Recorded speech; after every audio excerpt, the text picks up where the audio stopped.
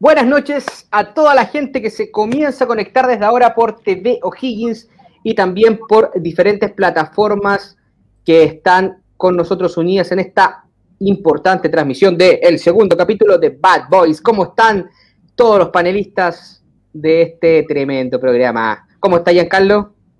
Bien, bien, Pedro, ¿cómo estás tú? Muy bien, compadre, ¿cómo está? Ahí don Juan, ahí don Giancarlo, perdón, y don Franco. Bien, bien, gusto saludarlo con muchas cosas que comentar. ¿ah? ¿Cómo está, don Franco? Gusto saludarlo, maestro. No, muy, muy bien, contento. Y por favor que la gente comente y pueda compartir para que tengamos una buena audiencia en una, en una conversación independiente. ¿Cuál de los tres menos querido por los, por los de siempre? Así que es importante que podamos tener esta, esta instancia de, de conversación hablando con la verdad, porque cuesta tanto en Chile y es tan, tan costoso en términos de, los costos que hay que pagar por ella. Así que todo bien por acá. Así es, hoy invitamos a la gente que se vaya conectando, porque hoy día vamos a hablar de política, de economía, de encuestas y de qué está pasando en nuestro país. Han sido días complejos y no sé si en un futuro, al parecer, así de complejo. ¿Qué opina usted, don Franco? Yo estoy muy preocupado, ¿ah? estoy muy preocupado. Cuando leo las noticias, no veo ni una noticia buena. Solo las dos noticias buenas que he visto es que Huachipato va puntero y que el Audac va puntero. El resto, no veo ni una noticia buena. Estoy, estoy realmente preocupado por la senda que va, pero no solamente por la senda que va a Chile, sino que también la senda que está tomando Latinoamérica. ¿ah? Una extremada polarización y que al final, al final, el que la pasa mal es la clase media y la clase media emergente. Eh, de hecho, cuando uno ve las discusiones que hay, que son de muy bajo nivel, la gente no se da cuenta que las autoridades, lo económico, lo político y social, se están farreando Chile. Así de sencillo. La otra alternativa era Colombia y ahora Colombia ya ocho días, curiosamente, ocho días de protesta. Y en Argentina, un desastre. Y en Perú, veamos qué va a pasar eh, en el próximo mes con la elección. Yo creo que va a quedar muy dañado Perú y vamos a estar viendo una situación muy parecida a la de Colombia, muy parecida a la de Chile también. Oye, la noticia del cobre sí es buena, no, no digamos que son todas malas. El, cobre está súper, súper alto, como me parece que casi está rompiendo récord. Sí, están los 4 dólares 6, muy buena, muy buena noticia, es verdad eso, don Giancarlo, pero quiero que se beneficie Chile.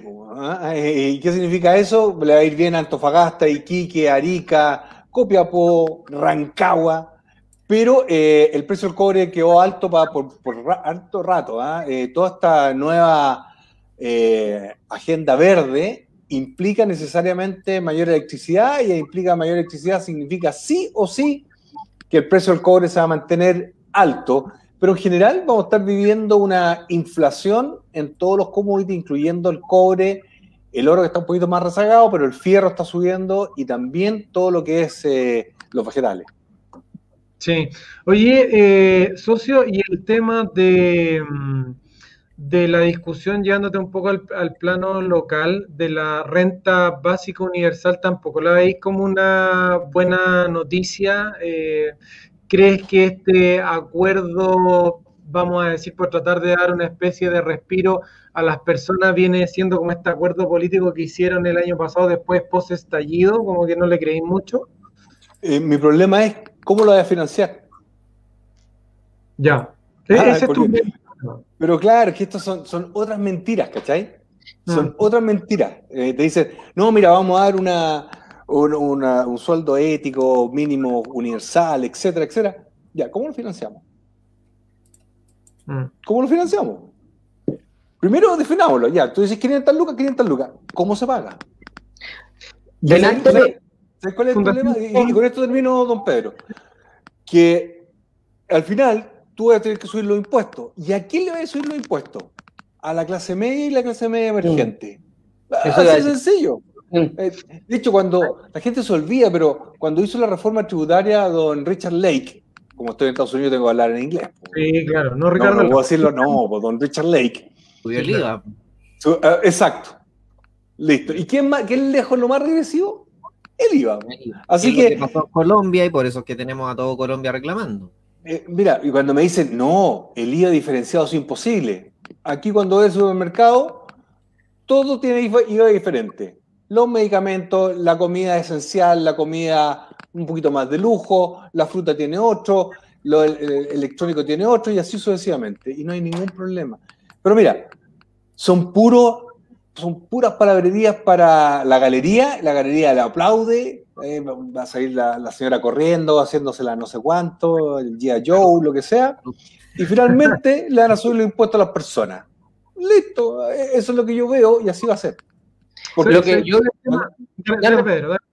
lo que, lo que yo había escuchado hace un rato, de hecho lo hablé hace un rato con, con mi señora, estamos hablando del mismo tema, era que los que ganaban más dinero en un momento, lo que, lo que la clase política de, la izquierda extrema busca un poco, eh, es, que el que gana más plata eh, equipare un poco y de ahí sacan un poco de recursos. por eso usted decía, Franco, recién, la clase media o la clase que, un poquito media alta y sacarle plata a ellos. O sea, lo que yo veo es que eh, los comunistas o la clase, la izquierda extrema busca en general igualar, pero igualarse a la pobreza. O sea, ¿Qué pasa? Yo me he sacado la mugre y muchos cabros también que han intentado estudiar en la universidad, que se han pagado los estudios y, tal vez llegue un momento en tu vida que vaya a ganar bien y entonces, ¿por qué yo tengo que financiar a otros tipos que no, tal vez no se esforzaron lo suficiente y, y tal vez no buscaron las oportunidades, pero sí tienen la capacidad de reclamar por todo? Don Pedro, deje hacerle una pregunta. ¿Qué es ganar bien para usted? De, una cifra. 3 millones de pesos. 3 millones es clase media. Yo sé que no quiero ofender a nadie con esto, pero es clase media. Un tipo que gana 3 millones, ¿sabéis con cuánto llega a final de mes? Con cero. Con cero, sí. ¿Por qué? Porque tiene que pagar dividendo, tiene que pagar la cuota del auto, tiene que pagar el colegio, tiene que pagar a alguien que le ayude en la casa a la señora, etcétera, etcétera. Entonces, la, gente se distorsiona. Dice, 3, 3 millones de pesos es un sueldo bueno, pero no es un sueldo clase alta. Y ese, ese personaje, que puede ser un hombre o una mujer, que gana 3 millones, es clase media, media, ¿de acuerdo? Porque los otros son sueldos que estamos hablando 12 millones de pesos, 15 millones de pesos. Entonces, ¿quién gana eso? Mucha gente gana eso, pero gente que se sabe proteger. Em, por eso al final, mire, yo le mandé un artículo a don Giancarlo, ¿se acuerda, no, don Giancarlo? Yo no puedo dar ese nombre porque después me, no, no, cuide, a mí. Pero era un artículo que salió en un, en un pasquín, eh, en que hablaba sobre el, el, impuesto a los millonarios. ¿Ah? Y decían, en realidad, nadie sabe cuánto se va a recaudar porque en realidad tienen tan oculta la, plata que es imposible. Hicieron un ejercicio y dijeron, mire, este personaje que hipermillonario murió. Hiper, pero hipermillonario, millonario de verdad según impuesto interno, tenía nada más que 20 millones de dólares. O sea, yo le puedo calcular más que, que eso, por lo menos 100 veces más. ¿Cachai? Entonces, en vez de recaudar el impuesto sobre los 2 mil millones, se lo calcularon en 24. Entonces, cuando se decía, no, le vamos a subir el impuesto a la herencia, sí, pero anda a calcularlo. Lo que pasa, don, don Pedro, es que finalmente el servicio de impuesto interno está al servicio de unos pero no de otros. No estoy hablando mal de, los, de, la, de la gente de, la clase media, de los del servicio de puesto interno, que es gente muy trabajadora, esforzada, puta, si son leales a su institución. Pero que toman la decisión en nuestro estamento, no estoy hablando de Chile, sino de otros países, finalmente saben dónde tienen que, a quién tienen que cuidar. Ese es el problema. Son, los mismos que pararon la investigación del, mal financiamiento de la política o el, financiamiento ilegal de la política en, gobierno de Bachelet. Pero no quería ir allá, Franco. El, tema es que eh, salió hoy, en la mañana, una propuesta de la Fundación Sol que yo sé que no para algunos les genera un poquito de complicación los números desde la Fundación Sol, sobre todo porque es una fundación que está financiada en gran parte por eh, sindicatos, entonces evidentemente tiene algún eh, dejo ideológico lo que hay detrás. Entonces, pero dicho eso, eh, ellos pretenden que la cobertura que tenga este ingreso universal, como le llaman, tenga un costo mensual de cerca de 7 billones, son como 7 mil millones de dólares. mensual. Entonces, imagínate ellos están más o menos proyectando este gasto de aquí a tres meses. Y es sobre eso es que la oposición quiere trabajar una renta básica universal. Entonces, me preocupa, eh, evidentemente, lo mismo que a ti, de dónde van a sacar las lucas. Y, pero el problema es que se, se está yendo en esa dirección en la discusión. Entonces, ¿No, ¿No, te preocupa la degradación política? ¿Qué te parece la casta política actual? No, no te quiero meter en problemas, pero, pero es oportuno hablarlo. Es lo que se buscaron. Es lo que se buscaron. Ahora disfruten el ride. Así de sencillo. Es lo que se buscaron. Sí, lo, lo, que pasó en Chile, nosotros dijimos que lamentablemente los partidos políticos se habían alejado de lo que necesitaba la gente. Y ahora, ahora tienen lo que quieren nomás, lo que tienen nomás, y yo veo complicado. Pero no quiero ser pesimista para que no me rete don, don Giancarlo. ¿ah? eh, yo creo que en los peores momentos Chile salió adelante. ¿ah? Siempre me acuerdo del Mundial del 62, que venía después de un terrible terremoto, ¿ah? y, y, se levantó y salimos adelante y salimos cuartos. Yo creo que lo mismo, viene un terremoto, sí, viene un terremoto. Eh, un terremoto me, me refiero político, social y económico yo lo venía diciendo y varias veces don Giancarlo me decía, no, no es así. ¿Cómo que no? ¿Cómo que no? Ya estoy viejo en este cuento, don Giancarlo, y yo lo veo clarito, clarito, clarito. Y por lo tanto hay que tomar los resguardos necesarios. Eh, mira, lo que está pasando en Argentina es el Chile, es el Chile que se viene. Sea, si tú me decís qué está pasando ahora en Chile, ¿qué, qué Argentina era? Macri. ¿De acuerdo? Si tú tomáis el gobierno de Macri, es lo que estamos viendo ahora en Chile. Con la única diferencia que no hay inflación, pero es, es lo mismo, ¿de acuerdo? Con, con, una oposición rupturista, que no transa en nada, que cada vez tira la pelota más lejos sin, sin tener eh, análisis de las consecuencias, eh, con una situación empresarial que está cada vez discutiendo cosas que nadie entiende. Y finalmente eso es lo que va a ocurrir, pero ¿qué es lo bueno? Que hay un montón de oportunidades como Teo Higgins, que encontró un nicho, que sabe que ahora eh, se va a llenar de auspiciadores, se va a llenar de auspiciadores Teo Higgins. Eh, e, eso es lo que yo estoy viendo en resumidas cuentas. ¿Cómo lo ve usted, don Giancarlo?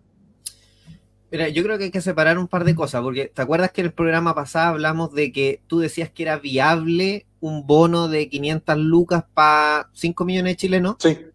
Más o menos, ¿cierto? Que considerando que que, es por familia en el fondo, y ahí llegaría prácticamente a todos los hogares, considerando que los súper ricos son, no sé, 5.000, 3.000 personas en Chile, es muy, es muy, poquito ese grupo. Eh, pero lo que se está hablando ahora es una renta universal y, y están hablando de otro tipo de valores y eh, justo ahora que supuestamente está terminando la cuarentena, digo supuestamente porque nadie sabe lo que va a pasar, pero quizá eso sirvió para los tres meses anteriores. Yo, yo, te cuento la realidad. Hoy día en Viña del Mar estaba repleto. O sea, hoy día no había cuarentena en Viña del Mar. Llena las calles, llenos todos los negocios, la gente paseando en el borde costero. Y eso da cuenta de que ya esa olla presión de decirle a Chile está en cuarentena, ya no la respetan. No sé, no, ojalá no, la gente que está eh, nos está conectando en vivo, nos cuenten en Puerto Montt, en La Serena. Yo sé que hay mucha gente que nos está viendo de todas las regiones. Pongan allí cómo estaban hoy día sus ciudades. Yo les cuento lo que vi en la calle en Viña del Mar. Vi todos los supermercados repletos, filas y colas tremendas. Y lo que también vi, una inflación tremenda, precios extremadamente altos, porque se viene el tercer retiro y obviamente al haber más plata en el mercado, eh, los productos son escasos porque hubo poca creación de valor los últimos tres o cuatro meses por Muy eso hay escasez de muchos mucho productos en lo que tiene que ver con construcción. No hay, no hay, no hay tablas, no hay madera. ¿Qué es lo que pasa? Usted sabe mucho más que yo. Suben los precios y al final el poder adquisitivo de este 10% va a ser mucho menor que los dos anteriores. De hecho, hemos visto cómo se ha ido desinflando fuertemente el fondo, los fondos de pensiones, de la a le ahí. Don Juanma sabe mucho más de, de cómo se varía el fondo de pensiones, pero esa es la realidad que estamos viendo hoy en día. No sé cómo lo ven ustedes. Sí, a mí me, me, me, complica la señal, o sea, estoy contigo, Yanka, o sea, sobre todo en el tema de, del, del, tercer retiro, por supuesto, que ha, sido este, esta racha de azúcar que ha mantenido a, al gobierno de Piñera, de todas maneras. O sea, eh, finalmente nosotros nos estamos comiendo el brazo para poder eh, mantener esta crisis y eso está claro. Eso es lo que ha permitido tener todo este, este racha de azúcar, si finalmente es eso, pero en algún momento se va a acabar. Lo que me complica en términos eh, políticos y económicos la señal que se está dando y insisto con el tema, una de nuestras responsabilidades como comunicadores sociales, es que lo queremos llamar, es ir educando a las personas y eh, no caer en estos eslogans. A mí me preocupa absolutamente lo que ocurrió con el tema de las rentas vitalicias.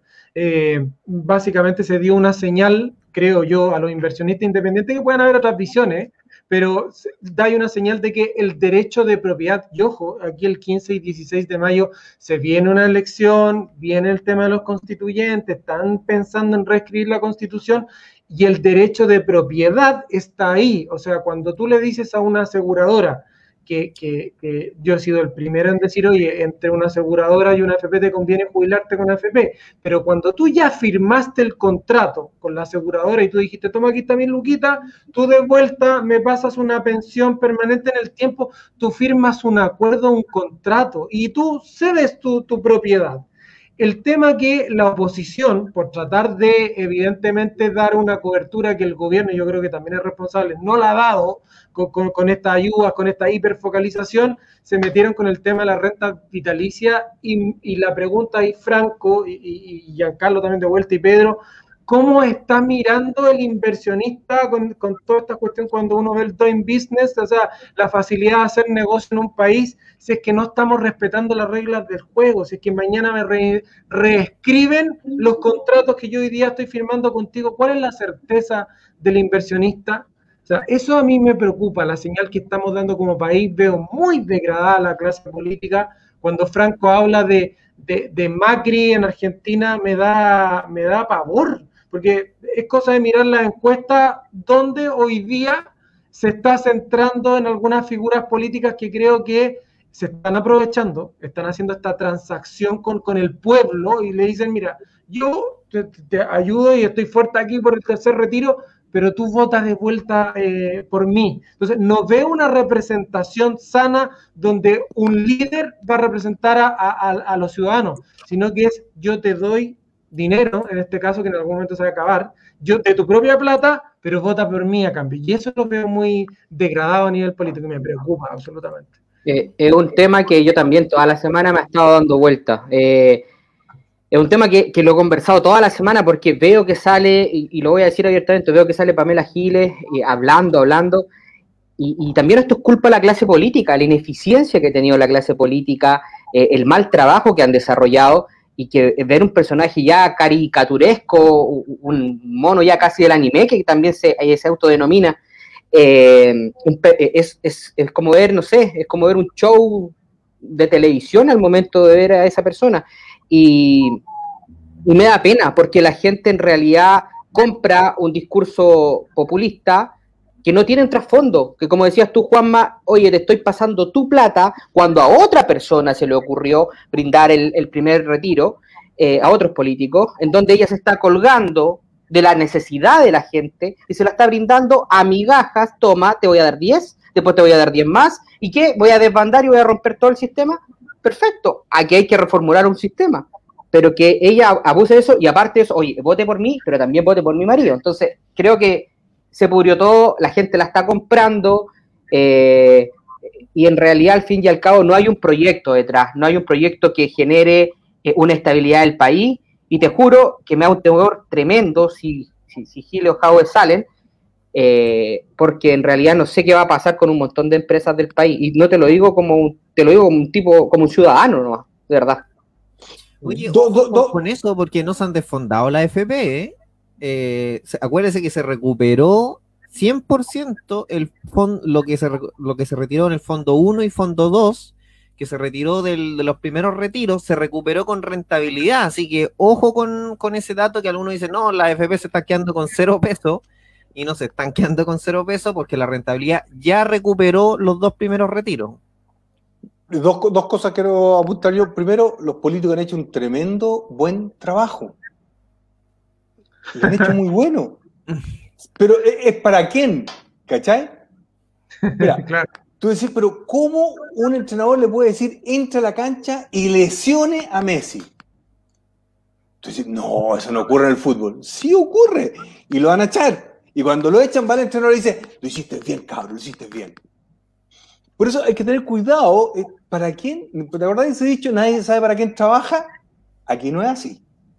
Yo lo que veo, yo lo que veo es que en Chile los más ricos son más ricos y los políticos son más poderosos y están más asegurados en su pega. Más asegurados en su pega. De hecho, lo vamos a ver el 15 y vamos a ver de que la mayoría de los constituyentes son resabios de ex políticos o, eh, o políticos propiamente tal. Podemos hacer esa apuesta, don Giancarlo, don Pedro y, y don Juanma. Le aseguro, o sea, o sea, lo que pasa es que la gente no entiende lo que ocurre, ¿de acuerdo? Sí, esto hay que mirarlo un poquito más de lejos para entenderlo, ¿ya? Una pensión básica universal en Chile no se puede dar en las actuales circunstancias. No hay presupuesto que aguante. Y ustedes ya lo dijeron, los, los tres lo dijeron, y de hecho anoté lo que decía don Ignacio Suazo y doña. Alba. Don Ignacio, no alcancé a notar de dónde era, y doña Alba de Antofagasta. Decía, están todos en la calle y los precios en las nubes. Bueno, eso se llama Es inflación. ¿Qué significa inflación? Significa que el valor del dinero cae. Pero ahora yo tengo una pregunta para ustedes.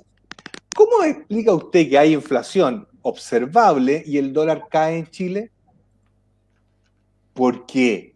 Porque se ha demostrado, se ha demostrado que tú tratas de contener la inflación hasta que la dejas estallar. Mensaje para la derecha. Cada vez que la inflación sube, hay cambio de gobierno. ¿Me siguen?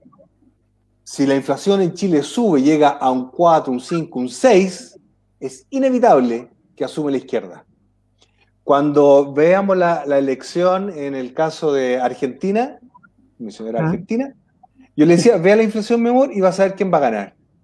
Y la inflación está al 50%. Sobre el 30%, cambio gobierno, cambio gobierno, no se, no se canse, cambio gobierno. Siempre ocurre lo mismo. Siempre. patrón. No.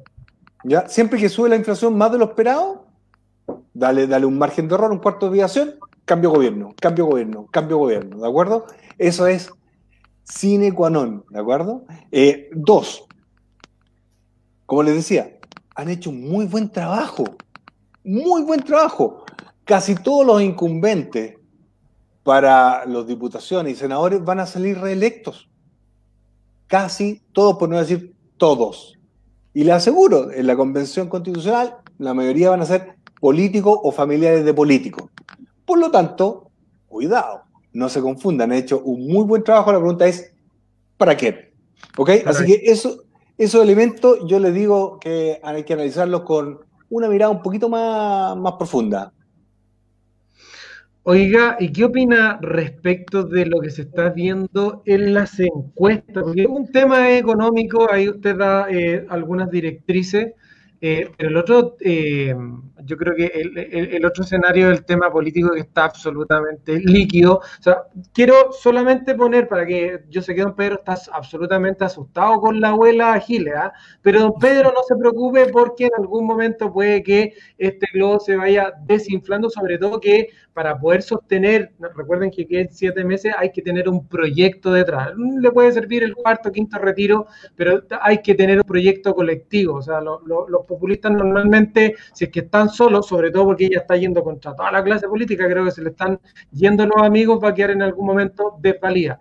Pero más allá de esa proyección, piensa usted que hace dos semanas ¿quién tenía en, en- bajo la mirada, independiente que yo a ella no le doy tampoco eh, grandes aires, pero a, a Yana Proboste, resulta que ella asumió, hábilmente se reúne con eh, Sebastián Piñera para que finalmente desde el otro lado ella la mire, mira, ella es la que puede traer eh, eh, aguas calma a este escenario bastante complicado, independiente que no tenga futuro político. Pero surge un nombre en las últimas dos semanas que nadie tenía. Así, para adelante, don Pedro, quedan como siete meses. Imagínense cuántas llanas Proboste pueda salir.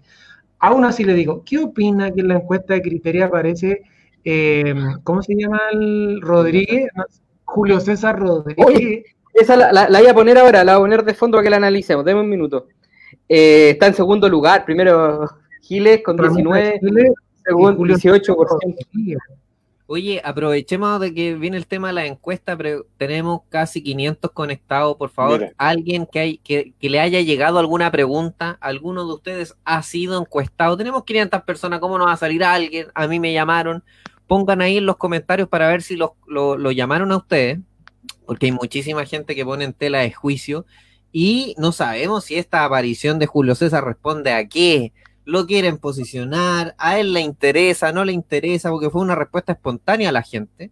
Y también habla un poquito de lo, de lo degradado que estamos. O sea, cualquier persona aquí levanta la voz, dice algo, genera un grado de empatía, y el chileno dice, pa, presidente, lo, lo ponemos de presidente. O sea, no tenemos ningún. O sea, yo creo que tú presentas currículum para hacer eh, un cargo cualquiera en una empresa y te ponen más trabas que para ser presidente de Chile, en el fondo.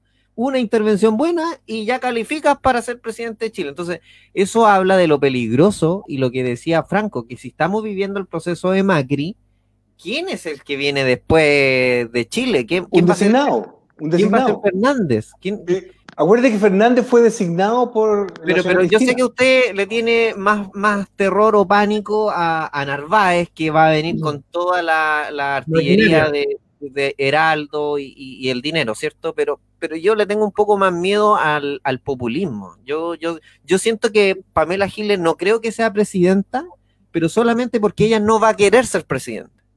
Del momento que ella decidiera ser presidente, yo creo que no hay nada que hacer. La- la- eh, mover una aguja de una decisión popular a seis meses de la elección, yo creo que ya no es reversible.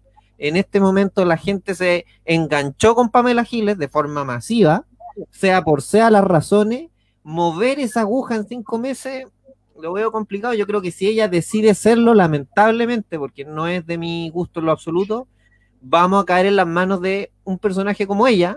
Imagínate lo que podría provocar para Chile, los inversionistas, lo- todo lo que puede significar un presidente como Pamela Giles el próximo año. Así de Es que se lo- complicado. lo veo. Es que se lo buscaron. Pero mira, nómbrame una figura nueva derecha que, que sea de verdad. po. Ninguna. po. ¿Cómo? ¿Y Briones? ¿No? Pero si no es de verdad. po.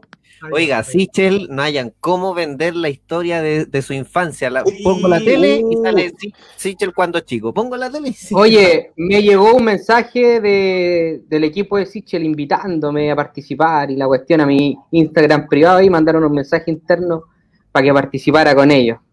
Yo ni lo conocía, en realidad lo había visto en el Banco de Estado un día acá que vino en pandemia a, a- a inaugurarlo, pero más allá, No, usted hizo una- un análisis muy bueno, don Giancarlo, sobre el eje de la política que antes estaba en el centro en Chile. Cuénteme, cuéntenle a la gente ese análisis que está muy bueno porque Sí. va a reflejar lo que va a pasar. Ahora, yo creo que los inversionistas, eh, eh, inversionistas extranjeros que van a Chile ya se fueron.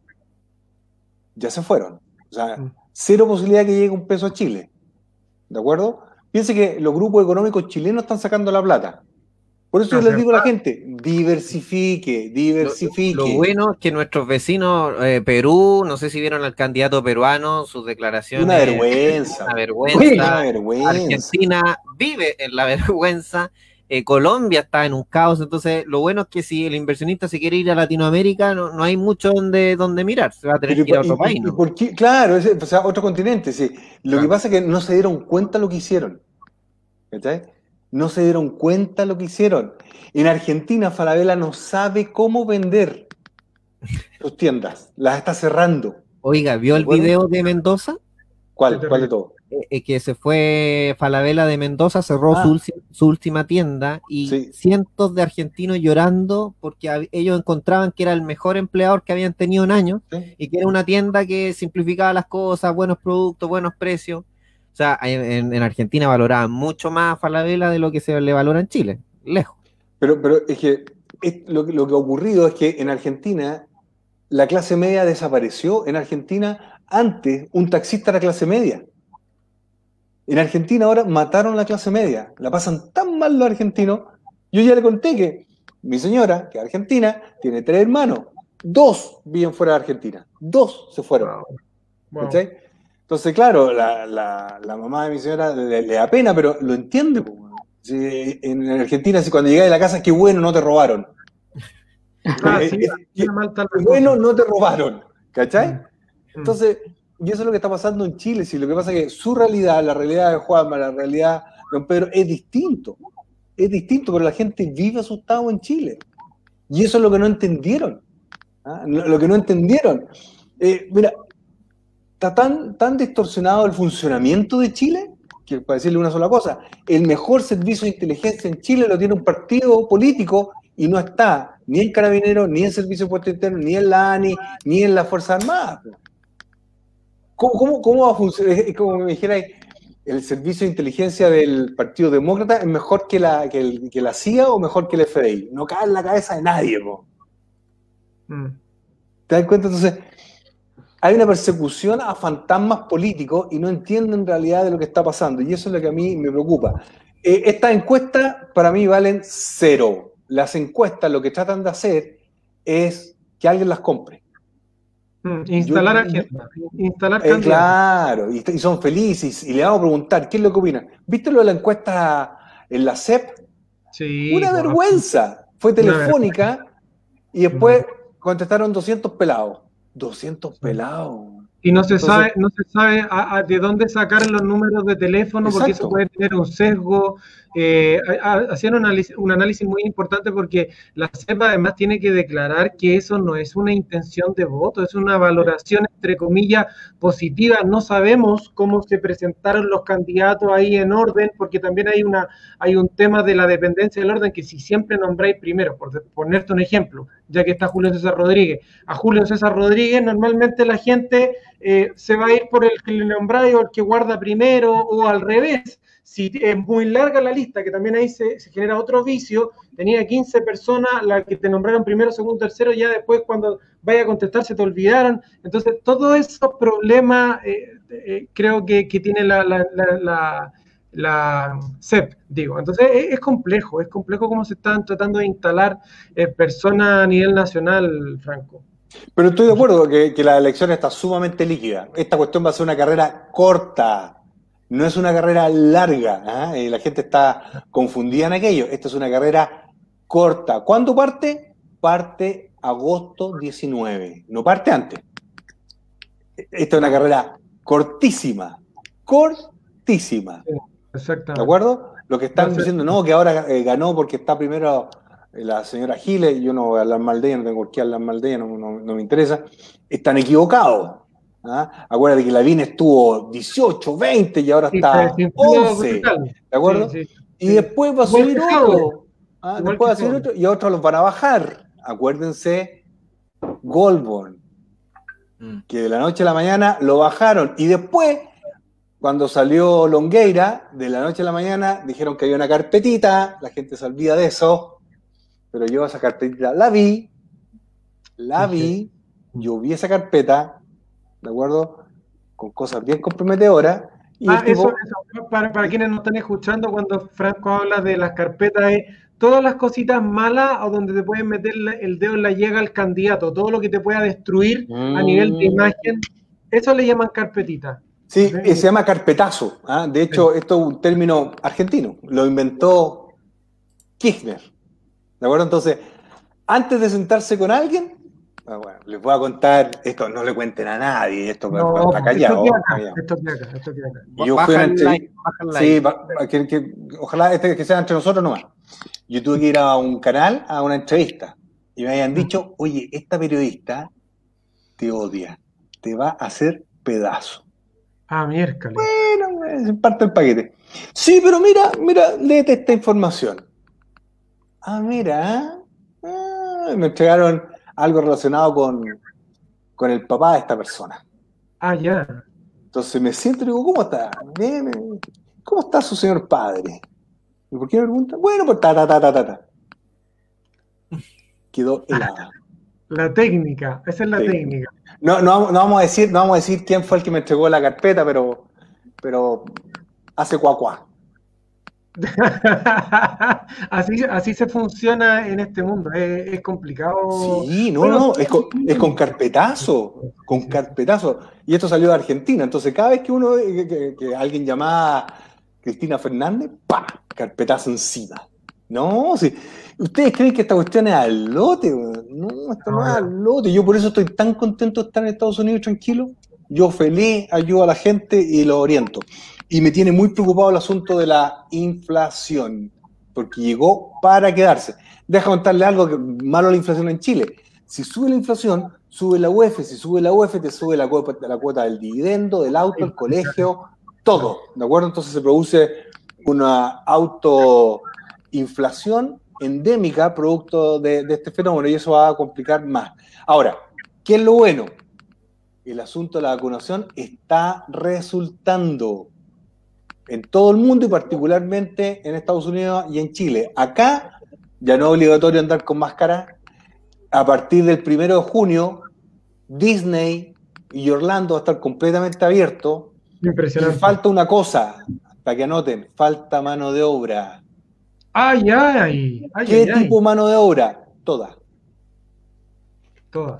Garzones, cocinero, limpia plato, ingeniero, eh, choferes. A de- eso te referíais con el aumento de la productividad del, del tweet que hizo Melnik que hablaba de que esta sobreimpresión de dólares de Biden iba a Mm. generar que se depreciara mucho el dólar y que lo veíais al revés tú. ¿Te referías ya a esta escasez de mano de obra que hay en este Lo, que quiere, lo que quiere Estados Unidos es que se deprecie el dólar. Obviamente, si tú deprecias el, el- el dólar, vas a colocar en un zapato de chino a China. China, la gracia de China es que es barato en términos relativos. Lo que quiere la economía norteamericana es que sea más competitivo sus productos. ¿Cachai? Claro. Claro. E- e- Este caso es distinto. Ahora, gran parte de la emisión de dólares acá en Estados Unidos se está yendo a inversión. La bolsa de comercio va a seguir subiendo, seguir subiendo, y las empresas no saben qué hacer con tanta plata que se están autocomprando sus acciones. Ay, ay, ay. Ay, Claro, eso es lo que están es haciendo. complejo, Así que es si alguno de ustedes tiene algún billetín y están pensando en invertir, saquen la plata de Chile. Saquen la plata de Chile. No quiero hacer publicidad, pero www.parisifx.com. ¿Ah? Porque eh, va para arriba. En cambio, la bolsa en Chile va a ir para abajo. ¿Por qué? Porque la gente está asustada. La gente está sacando, me refiero a los grupos económicos, están sacando la plata. ¿Ok? Todo se está viendo la plata a Estados Unidos, Inglaterra, Alemania, Francia.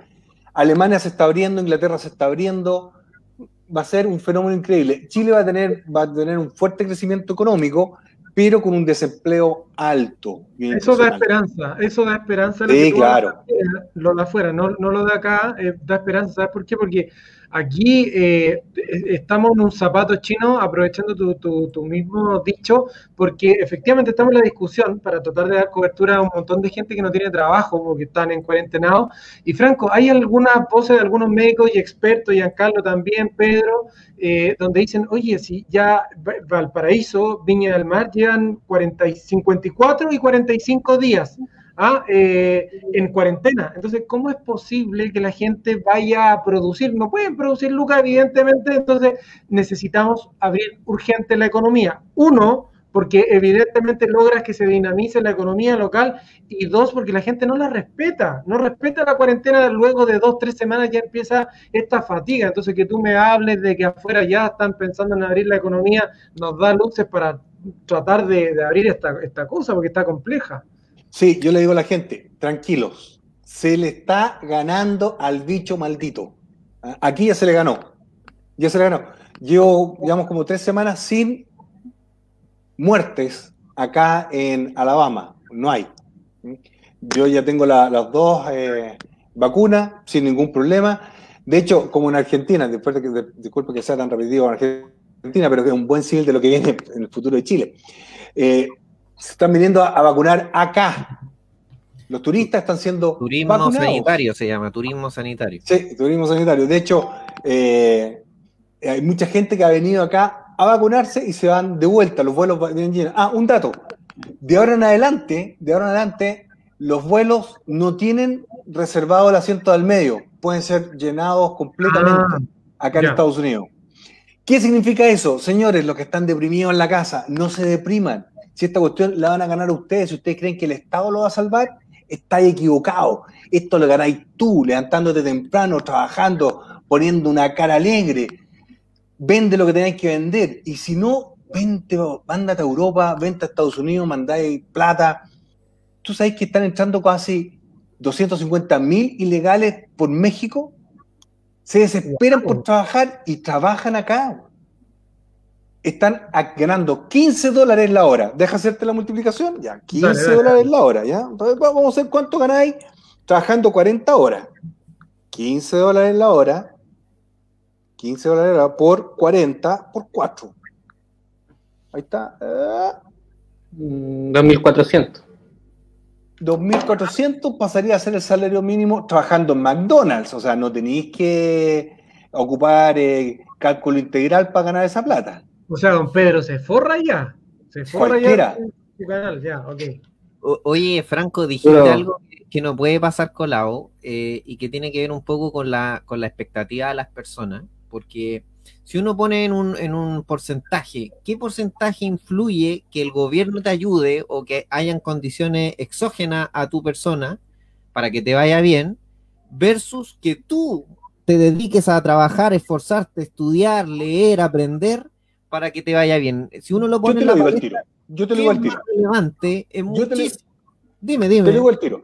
Si tú estás esperando que el gobierno te ayude, Eso. con suerte vaya a estar donde mismo estáis es que no entiendo por qué hay una expectativa tan alta de que tiene que mejorar el gobierno para que mejores tú. Y eso lo que produce es una tremenda frustración, porque no necesariamente el gobierno tiene buenas intenciones, ya han pasado gobiernos de izquierda y de derecha y la, gente reacciona más o menos igual. No es que estuvimos muy bien con un gobierno y ahora estamos súper mal, para nada, la gente no tiene un cambio de memoria muy grande de un lado o del otro pero, pero si esas expectativas siguen siendo que el gobierno es el que me tiene que ayudar, el gobierno es el que me tiene que educar, el gobierno, lamentablemente esa gente va a seguir eh, eh, con una expectativa muy alta y lo va a pasar súper mal cuando todos tenemos un amigo que partió desde abajo, ya le fue bien, pero es un cambio de mentalidad propio. Entonces, lamentablemente no veo mucha gente con esa mentalidad y eso es lo que se necesita hoy día. Si sea del gobierno que sea, no te van a solucionar la vida no, Exacto, tiene toda la razón.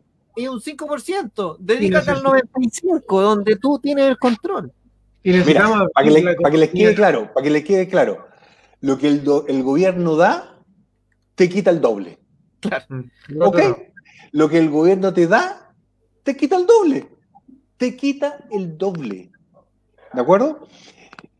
Mira, le voy a preguntar a don Pedro, pero ¿cuánta plata le llega a usted de la publicidad que hace el gobierno?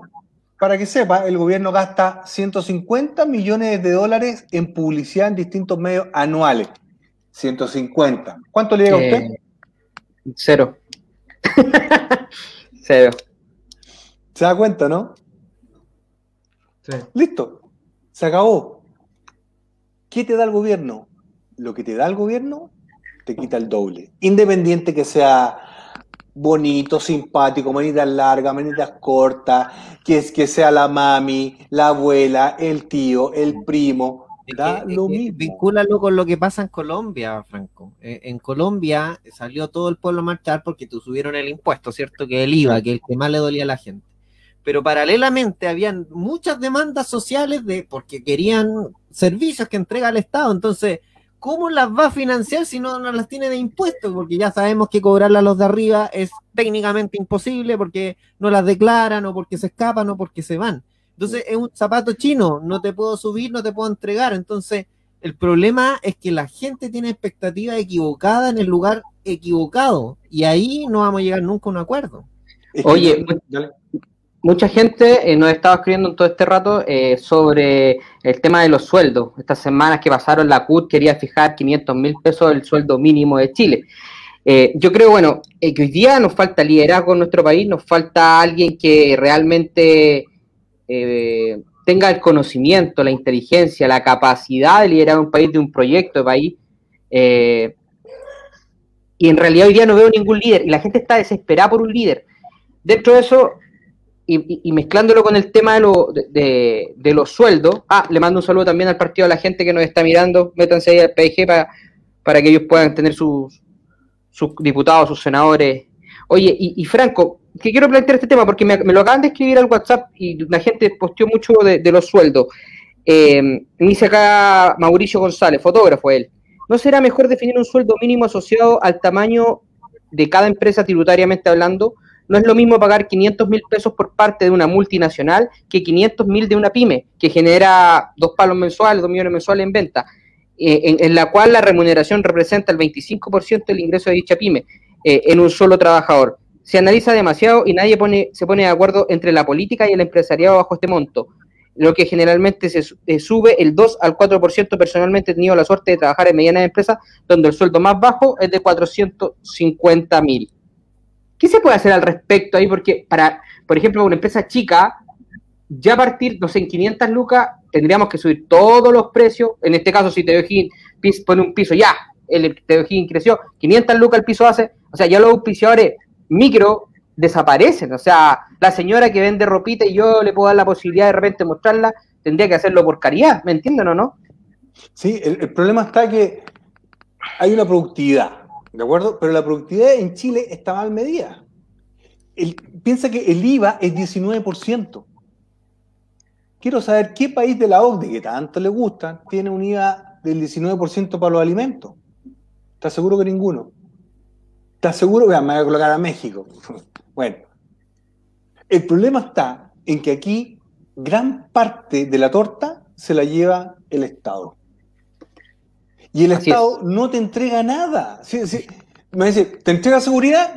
No, porque tenía alarma y vivía asustado. ¿Te entrega educación? No, porque los colegios públicos son malos. ¿Te entrega salud? No, porque la salud pública es mala. ¿Qué chucha te entrega?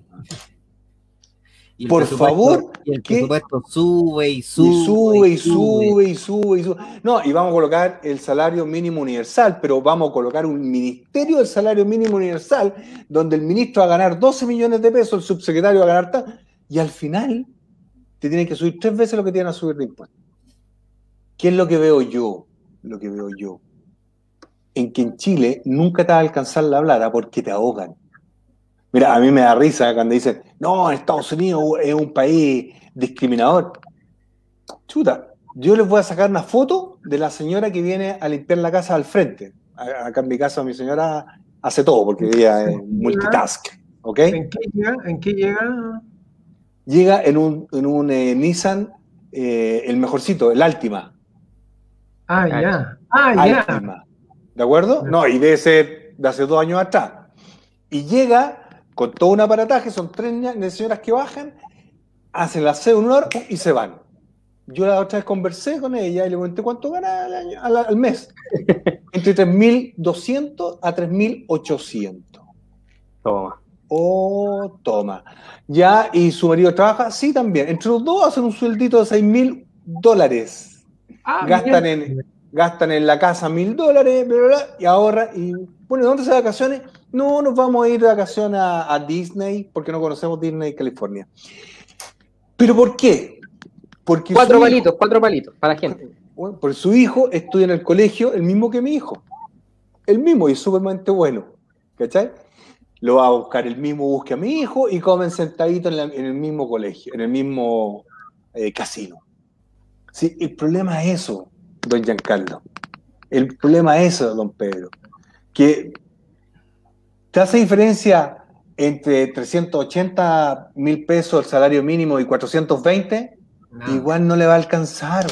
¿Querés que te mienta? Igual no le va a alcanzar. no, ¿para qué querías de 326 a 337? La renta universal que quieren eh, discutir ahora piensan llegar a 170 lucas, que es la línea de la pobreza por persona. O sea, 170 lucas es la mitad de un arriendo. Olvídate. O sea, cuando ya Carlos hacía la pregunta, oye, la gente que se queda esperando el Estado, olvídate, está arruinado. Lo que se necesita urgente es lo que dice Franco, es lo que está ocurriendo en Estados Unidos. Abran la economía. Abran la, economía, basta la tontera. Bájame el IVA. ¿Cómo, ¿Por qué si mi hijo se enferma, el Estado... Mira, si mi hijo se enferma, el Estado en Chile se hace más rico porque tengo que pagar un 19% por remedio. Qué tontera. Y después me dice, no, si Chile es un país solidario. Mira la Teletón. Mira saco wea. Si te cobran 20% por un remedio y después me decís que Chile es solidario porque don Francisco te dijo que Chile es solidario, mm. eres huevo.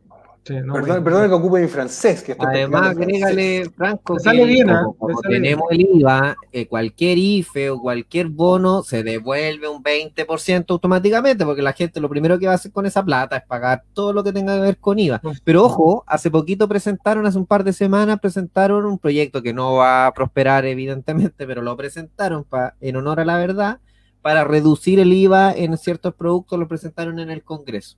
Ya, pero No yo le voy a a hacer pregunta. Yo le a una pregunta. Digan. Que escriba a alguien que está orgulloso del colegio público que está su hijo en Chile. No creo que muchos. Yo tengo mi hijo en colegio público y estoy recontento. Oye, me mandan libros para el fin de semana para que lea. Nino, lo- lo siento, me ¿Estáis extraña. leyendo? Nino, Es que en otros países pagáis el impuesto y Come here, please. por servicio. Acá, will you acá bring no. me the books No from my office? Your por- books. por. Ah, oiga, y como no tenía buen inglés cuando llegó, le pusieron profesor particular. Toma, mira. Could you, could you bring me the, the books, your books from my office? No, aquí está la embarrada. pues, Mi señora Pero, es la profesora, mi niño chico, y a puros No, eh, esto no, no es para que se enojen, no, no, no es para que se enojen, pero cuando me dicen, no. Chile ayuda a Chile, Chile es sumamente solidario, Chile, las pelotas, las pelotas, con un IVA, por- con un IVA a los remedios del 19%, eso no es ser solidario. No, eh, ¿qué, qué hacemos con.? Hay gente que lo está pasando mal, ¿cierto? Está en ollas comunes, lo hemos visto, es una realidad. Pero, eh, según el Banco Central, estamos. Hay un porcentaje de personas que tiene. Nunca antes había tenido tanta plata en la cuenta corriente con esto de los retiros. Hay gente que no ha podido gastar la plata.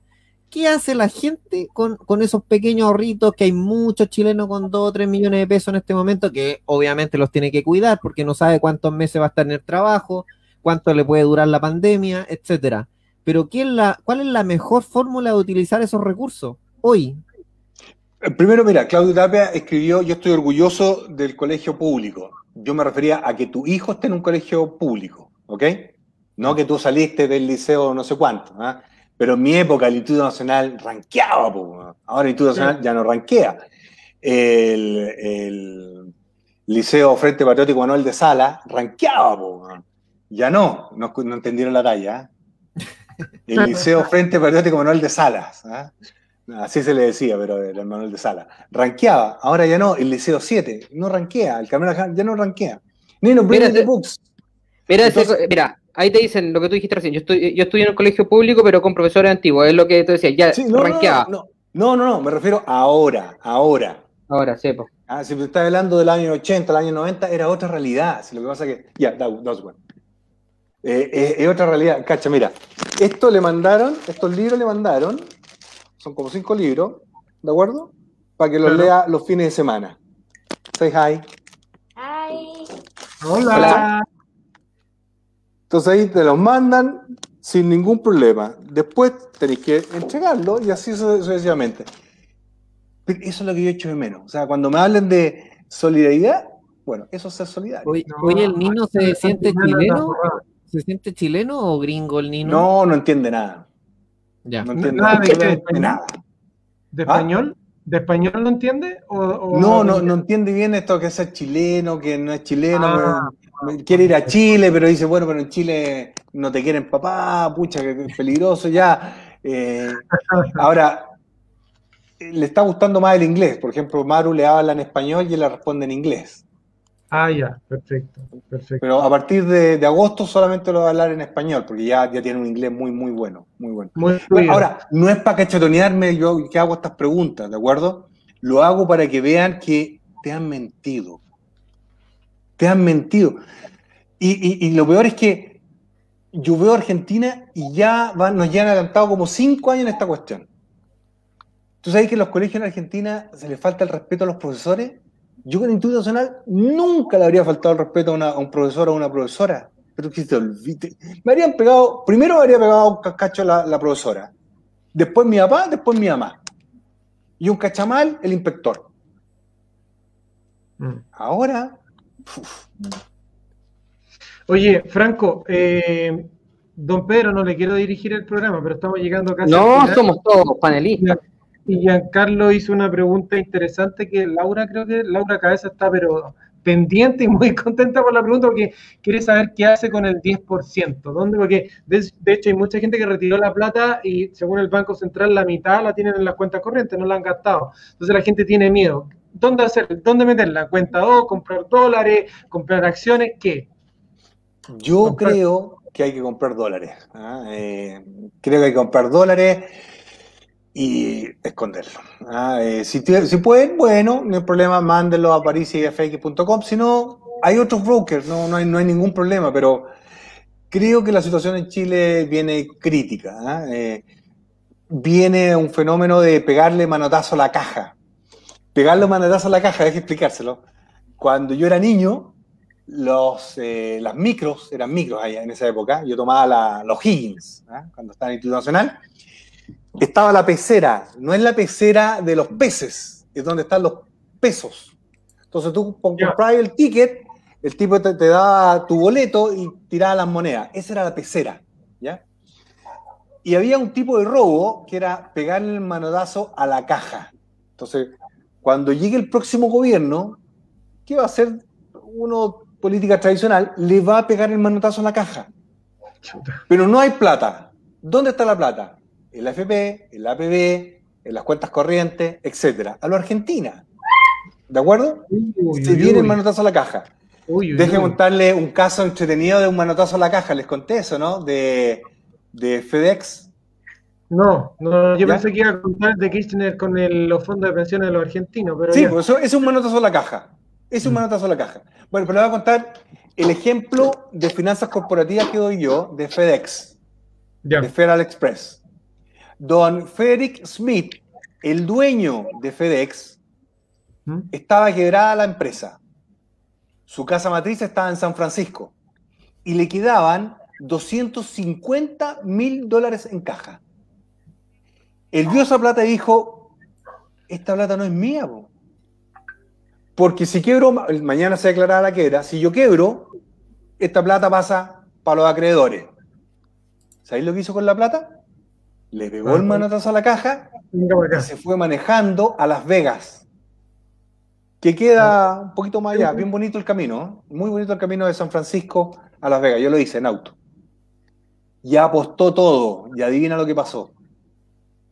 Espero Ganó. que le hayan explicado. Ah, ya. Ganó ganó y salvó a la compañía. Métanse ahí el ejemplo de FedEx de manotazo a la caja es un caso feliz. Eh, por lo general son casos infelices o tristes, ¿de acuerdo? Pero eso es un manotazo a la caja. No, no aprenda eso, Pedro, pues lo veo ahí con la cara de, ah, de feliz. Ah, no, ah, está escribiendo. FedEx, ah, métese ahí. Tengo una pregunta acá también que Juanma o, o, o, Franco la pueden responder, yo creo. ¿Qué pasará eh, finalmente con la FP? Eh, Franco, tú lo has mencionado algunos programas, el, el, primero, segundo, tercer, cuarto, quinto retiro y así sucesivamente. ¿Cómo le afecta esto a las pensiones, eh, estos retiros en proporción? Fracción. Dele nomás, don Franco. Yo creo que se dan dos posiciones. Una, el modelo ONU, que es eh, la estatización. ¿De acuerdo? Ahora, seamos pesados. Sí. Si estatizan eh, la AFP, yo creo que hay que estatizar también las pensiones de la ONU de la señora Bachelet, de Aroldo Muñoz, de varios más, pues. Sí, pues sí. como, como la cuestión son las mejores pensiones de los organismos multinacionales, de la OIT, OMS, ¿de acuerdo? O sea, eso se lo dejo de regalito nomás para cuando estén aburridos en Chile y ellos sean gobierno y quieran estatizarlo, digan, ah, ¿y qué pasa con su jubilación Señora Bachelet, ¿se estatiza también? Oye, pero ¿es nacionalización o expropiación? ¿Cuál, no, cuál es la palabra es que, que, tenemos que ocupar? Es, es, es, un manotazo a la caja, esa es la verdad. Es un manotazo, robo, esa es la, la robo, no, más, más simple. Pero tenés que decir, mire, vale por, tome ahí, vale por. Claro. Exactamente. Oye, pero, pero, pero yo, yo creo que la gente se pasaría con, con las marchas que hubo el 2019, de la gente que se empoderó, y que ahora que la gente permita que los mismos políticos a los cuales les dijo que ojalá no hicieran la constitución y que la van a terminar haciendo igual, a la que la gente le dijo bájense los sueldos y no se los bajaron, que esos mismos políticos se apoderen de tu dinero, por mucho que estén dando pocas pensiones, sigue siendo tu dinero. si te lo llegan a nacionalizar con ese nombre bonito que es para eh, expropiar, yo Pero creo si que la si el gente gobierno no despierta de eso, estamos absolutamente... Don Giancarlo, don Giancarlo, le voy a explicar yo con números. Y usted me va a ayudar ahí, don, don Juanca. Eran 11 millones de personas que tenían plata en la FP, ¿cierto? Sí. Sí, Ahora quedan 5. van, van a quedar cinco. van a Listo. quedar cinco. O sea, tenéis 6 que se quedaron sin fondo. El que se quedó sin fondo dice, espérate, me quedé sin fondo, pero hay 5 que sí tienen. Dividámoslo, po. Dividámoslo. Y como yo necesito 50% para ser reelecto, ningún problema. Vale. ¿Te das cuenta? Y más aún te lo puedo hacer mejor. Incorporemos en este cálculo a la gente que tiene APB. Porque los que tienen APB son los más ricos. Mm. Listo. Va también al chanchito de la distribución. Bono. Proporcional. ¿Se da Sí. cuenta, no, doña Carlos? Ya, pues si usted sabe de política. O sea, que lo que Sí. importa es ganar. Es que el Pero problema eh, la que gente, no, no, este no tiene esta información, pues no entiende, lo ve nacionalizar el- y gano hay yo, en- cree. Hay encuestas nacionales donde hacen la pregunta hacia dónde quieren que vaya el 6% adicional. Y la oposición creyendo que querían, porque en el fondo, el, el trasfondo, y lo dice Pamela Giles, y es honesta, dice, yo quiero desfondar a la FP, yo quiero que se termine hay un tema ideológico ahí. Pero resulta que los retiros del 10% y dieron cuenta a la propia ciudadanía que las FP se sintieron pequeños capitalistas donde dijeron, oye, yo pongo una cierta cantidad y la rentabilidad va, re- va rentando para mí y ese dinero que es que está ahí es mío y yo lo puedo utilizar. ¿Me entiendes? Entonces fíjate que ahora en las encuestas que están ahí, que para algunas cosas las pescan, para algunas cosas dicen, no, hay que escuchar a la ciudadanía. Pero cuando le preguntan y dicen, oye, ese 6% adicional, ¿hacia dónde quieres que vaya?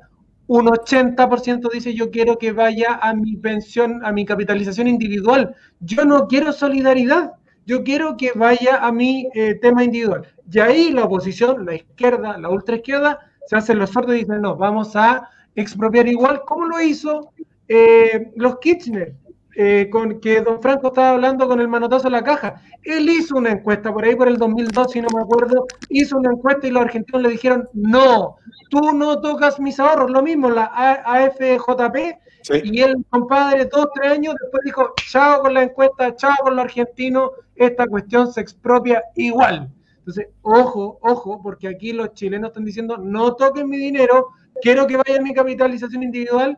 El tema es que los políticos se funden igual, si tienen que mantener su manteca. po. Es el punto. Eh, pero es una pena, es una pena. Ah, me están preguntando, ¿qué opina invertir en bien raíz? Si te pueden endeudar, endeudate. ¿De acuerdo? Si te Bajaron pueden la- endeudar, las condiciones, ojo, los bancos acaban de Sí. flexibilizarse un poquitito porque estaban siendo muy estrictos y no estaba calificando nadie y se le acaba el negocio. Así que ahí ah, hay qué raro, una- eso lo conversamos en privado, Giancarlo, y usted me decía que no. Pero gracias por, por decirlo en público. No, no, que- no. que sí. Es que lo que lo que yo le decía es que la gente seguía comprando bienes raíces. Estos últimos tres o cuatro meses han estado. Muy bien. Si tú te puedes endeudar, endeudate a concho. ¿Sabes por qué? Tú no sabes lo que va a pasar después. Tú no sabes lo que va a pasar ¿Qué debería después. pasar con las tasas, socio? Van a subir. De hecho, ya subieron. Por el De hecho, si tú, si tú veis la- la- las tasas de, de los bonos de tesorería, a 10 ya subieron. ¿De acuerdo? Y eso Eh, le pegó así. al fondo E, el fondo E. Toda esta cuestión de la renta vitalicia le pegó al riesgo Lógico. Y finalmente esta idea, esta idea de la oposición a de, no, de- démosle a la gente la renta vitalicia, hizo caer las pensiones de, de- de todos nuestros jubilados en el fondo E, donde ellos tienen que estar por obligación. Les pegó como un Ah, mira. 8%. Mira, doña Laura me está preguntando, ¿endeudarse? Si la UEF está subiendo. Si te puedes endeudar, endeudate y compra una propiedad y los arriendos se ajustan por inflación. Y si después no, lo vas a poder- no te la pueden, eh, no puedes pagarla por cualquier razón, el problema es del banco, no es tuyo. Mm. Así de sencillo. Así de sencillo. Y, por último, lo vende y la plusvalía. Claro, ganáis la plusvalía. Siempre es bueno tener una propiedad. Oigan, estamos llegando a la parte final, eh, el minuto final de cada uno. Vamos a intentar de tener para la próxima semana alguna cortina para este momento épico. Eh, digan lo que quieran, sin censura, sin nada. Y Yo- ya en las yo- próximas semanas, dígalo nomás, cuarta nomás. parto cortito. Yo lo único que pido, por favor, al colegio médico que no siga insistiendo en mantenernos en cuarentena. Lo han dicho otros expertos, por favor, dos semanas, tres semanas máximo, si no después la gente no pesca, hay una fatiga y necesitamos urgente que se abra la economía. Ya vimos que los políticos, la clase política, la deuda del Estado, no hay cómo financiar, no te van a pasar una renta universal que te permita vivir tranquilo con, con tu comodidad. No, eso no existe. No existe. Lo único que, que, va a funcionar es que abran la economía. Aquí en Valparaíso, Viña del Mar, no es por ser egoísta, pero en la realidad que vivo yo, 54 días en cuarentena es una locura. Necesitamos que abran la economía urgente. Eso. Giancarlo, dale. Sí, yo hago un llamado que la gente cambie el chip, cambie el foco. Yo no conozco a nadie que a punta de subsidio haya salido adelante o, le funcionó la vida. E, eso tiene que ser para un momento en que te está yendo mal, que, que tengáis una mano de ayuda. Pero el foco tiene que ser salir adelante, estudiar, trabajar, sacarse la mugre. Ahí está el 95% del éxito de las personas que tú ves que les va bien. El 95% es porque repitieron ese tipo de patrones y no porque están esperando que gane un gobierno rojo, uno azul, o porque le llegue un bono más, un bono menos, o califique o no califique. Ahí no está el oro, como decía un profesor, ahí está el 5%. Entonces, concéntrense en aplicar toda su energía en el 95% donde tú tienes el control, aunque suene más duro, porque obviamente es más fácil esperar la ayuda que esforzarse, pero hay que hacer ese esfuerzo para que no estés con esa expectativa de esperar que pase, porque no va a pasar no va a pasar porque a los políticos no les importa eh, ayudarte, esa es la verdad. Pues yo, remata Don Messi. eh, lamentablemente, han sido semanas súper complejas para todo Chile, también para acá en nuestra región de O'Higgins. Llevamos bastante tiempo, debemos llevar casi lo mismo que Viña del Mar en cantidad de días con cuarentena. La economía está muy contraída acá, eh, negocios como restaurantes, negocios eh, puntualmente de, gimnasios también, que me estaba mirando acá uno de los amigos de Iron Taurus, están muertos hoy día, eh, se genera muy poco, un, un amigo restaurante me decía que genera el 5% de las ventas que genera constantemente. Muchos dueños de locales no pausan los arriendos, más aún, más aún, los grandes, las grandes empresas que tienen eh, Street Center no rebajan los arriendos y eso hace que mueran muchas empresas, que ya han muerto muchísimas. También de hacerle un llamado a la gente, eh, no le crea a, los personajes populistas, no le crea a los personajes que lo van a llevar directamente a la pobreza. Tal vez pueda aparecer algún líder que podamos seguir o tal vez alguna persona que realmente tenga algún proyecto detrás eh, y que pueda hacer las cosas mejor de las que se están haciendo, pero no le crea a personajes populistas que lo único que hacen hoy día es decirle voy a sacar su plata para dejarlo sin plata y a la vez va a ser más pobre de lo que ya es. Así que un abrazo a los emprendedores, un abrazo a toda la gente de todo Chile, tiren para arriba, vean, ustedes son inteligentes, vean alternativas y también hacer el llamado al Ministerio de Salud que por favor demos apertura a la economía, porque sin eh, mover la economía no podrán haber mejores utilidades ni maximizar la riqueza. Vamos, don Franco. Bueno, primero darle las gracias a TV O'Higgins, que yo sé que hacer un monstruo de las comunicaciones en un futuro inmediato porque está entendiendo los cambios que se vienen, eh, pagar sueldo exorbitante a, a, personajes que no, que tú decís que lo a reemplazar al día de mañana eh, sin un costo mucho menor, no tiene sentido que estemos pagando eso en la televisión abierta. Chile tiene un potencial único, pero no es por, por los recursos naturales, sino por las personas. Estoy seguro que se vienen tiempos mejores en términos de que se va a terminar la pandemia, sí o sí, aquí ya se le ganó, va a haber oportunidades de trabajo, se van a abrir, van a quedar muchos, muchos heridos, pero el tiempo las va a curar. Y completamente de acuerdo con lo que dice don Giancarlo, si estás esperando que el gobierno te va a ayudar, con suerte te va a llegar una cajita ¿ah? Cada tres meses. Eso no te saca donde estás. ¿ah? Eso no te saca donde estás. Yo lamento que en Chile tengamos tanto talento. Vi celebrando a, a Sánchez y a Vidal en el Inter y cuánto cabro bueno para la pelota hemos perdido, cuánto, cabro bueno para las matemáticas, cabras para el ajedrez. La otra me escribió una, una, prima indirecta mía que no, nunca conocía acá en Estados Unidos, que es campeona de, de ajedrez y se tuvo que venir para acá para desarrollar su carrera. Pucha, a mí me da pena eso, que estemos perdiendo tanto, tanto genio y capital humano en Chile y que si tú levantáis la cabeza y le decís, uy, parece que lo estoy haciendo mal, te hacen pedazo algunos señores feudales. Yo creo que, mire lo que pasó en Argentina. Mire lo que pasó a Argentina. Un país que es mucho más rico que nosotros, país mucho más grande que nosotros, y mira cómo está. Tenemos el mismo PGB que Argentina, haciendo mucho menores. Chile tiene un potencial único y son las personas. Y sí, el precio del cobre va a estar alto y aprovechen lo que se va a venir, que va a venir una vorágine económica muy buena y tenéis que estar ahí, arriba de la ola, para saltearla. Un abrazo y nos vemos la próxima semana. Antes de que terminemos, eh, tenemos algunos amigos eh, de espacios publicitarios que los vamos a lanzar ahora. Quédese viendo eso también, porque sin ellos no podríamos estar acá. Así que eh, agradecer a toda la gente. Un saludo nuevamente a los amigos del PG que nos escribieron harto. Hay que decirlo también. Un saludo a ellos. un saludo a ellos. Y un saludo a toda la gente. Gracias, Giancarlo. Gracias, Juan Macrack. Y un saludo a toda la gente que siempre, que siempre nos mira. Franco, te amo, dicen por ahí, mira.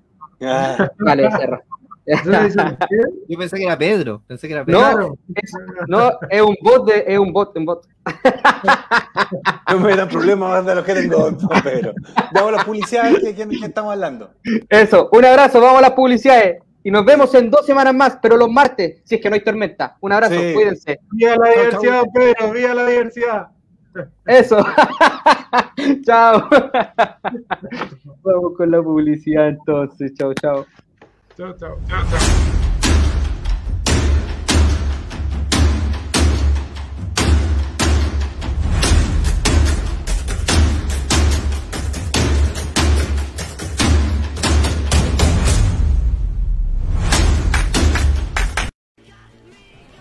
Oye Claudia, ¿y qué pasó con tu novio? Ahí está, invirtió en Parisi FX